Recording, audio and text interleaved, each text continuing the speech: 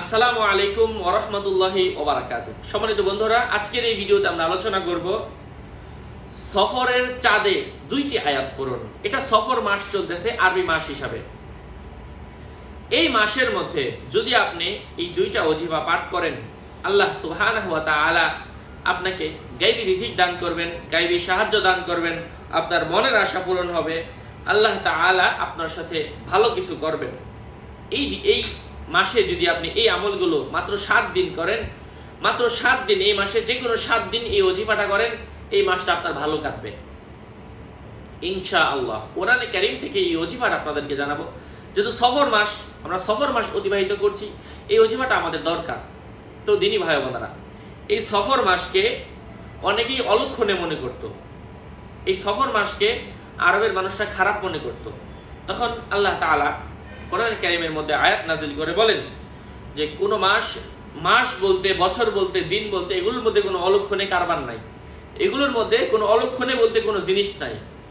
লা আদাওয়াতা ওয়ালা তিয়ারতা অলক্ষণে বলতে কিছু নাই।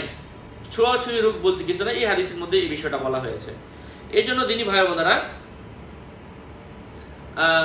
অলক্ষণে বলতে কিছু নাই। এগুলো আমরা অলক্ষণে মনে করব না। এই মাসে অলক্ষণে বলতে কিছু নাই। এই জন্য কেউ যদি সুরত দুহা সাতবার, সুরত দুহা সাতবার এবং সুরত নাসর এগারো বার অর্থাৎ ওয়াল্লাইলি ইদা সুরতুল আসর নাসর না সুরতুল আসর ওয়াল্লাইলি ওয়াল আস ইন্নাল ইনসান লাফি খুস ইল্লাল্লাযিনা আমানু ওয়া আমিলু সলিহাতি ওয়া তাওয়াসাউ বিল হাক্কি ওয়া তাওয়াসাউ বিস সবর এই সূরাটা পড়বেন সাতবার অথবা এগারো বার এবং সুরতুল দুহা এটা সাতবার অথবা এগারো বার সুরতুল দুহা তিরিশ নম্বর পাড়ার মধ্যে রয়েছে, সুরা নাসর তিরিশ নম্বর পাড়ার মধ্যে রয়েছে। কোরআন কারিম খুলবেন, দেখবেন, পড়বেন। মাত্র সাত দিন আমলটা করবেন।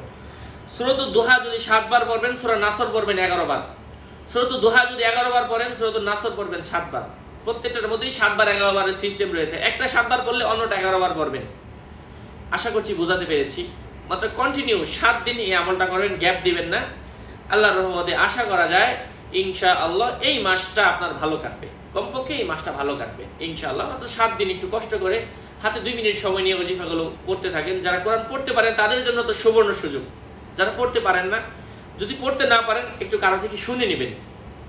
আমি তেলাওয়াত করে আপনি একটু তেলাওয়াত করেন। সুরা দোহারা সংক্ষেপে, সুরা দোহা সাত, তেলাওয়াত করেন একবার। সুরা নাসর তেলাওয়াত করেন একবার।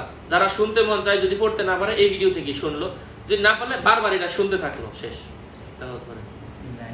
একটু জোরে রহিম والضحى والليل إذا سجى ما ودعك ربك وما قلى وللآخرة خير لك من الأولى ولسوف يعطيك ربك فترضى ألم يجدك يتيما فآوى ووجدك ضالا فهدى ووجدك عائلا فأغنى فأما اليتيم فلا تقهر وأما السائل فلا تنهر وأما بنعمة ربك فحدث সূরা আসর একবার তেলাওয়াত করেন بسم الله الرحمن الرحيم والعصر إن الإنسان لفي خسر إلا الذين آمنوا وعملوا الصالحات وتواصوا بالحق وتواصوا بالصبر যারা পড়তে পারে না কিন্তু ফজিলত লাভের আশা তাইলে আপনারা এইটাই বারে বারে টেনে টেনে সাতবার অথবা এগারো বার শুনতে থাকেন আশা করি আল্লাহর রহমতে আশা করা যায় ইনশা আল্লাহ আল্লাহ তালা আমাদেরকে উক্ত ফলাফল দান করবেন।